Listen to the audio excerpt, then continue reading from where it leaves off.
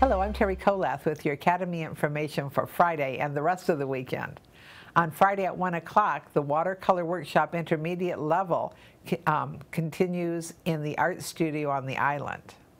And on Saturday, May 26th at 1.15, we have the Apple iPad, iPhone, and Mac free walk-in clinic in the Teaching Center on the island.